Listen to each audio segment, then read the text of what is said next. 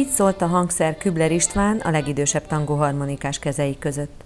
Új helyszínen a kastély udvarán muzsikálhattak a zenészek, hiszen tavaly februárban szűkösnek bizonyult az a terem, ahol szólt a harmonika szó. Városi rendezvényeken sokszor szerepelnek a hajósi harmonikások, így vetődött fel az ötlet évekkel ezelőtt, hogy legyen egy ünnep, legyen egy alkalom, ahol ők lehetnek a főszereplők. Így maradhat meg az a hagyomány, ami szinte apáról fiúra, mesterről tanítványra száll. Különös hangszerez, ami szinte egy egész zenekart helyettesít hangzásával. Szorosan hozzátartozik a német nemzetiségi kultúrához. Régen nem volt olyan lakodalom, olyan bál, olyan fonó, ahol ne lett volna gombos harmonika.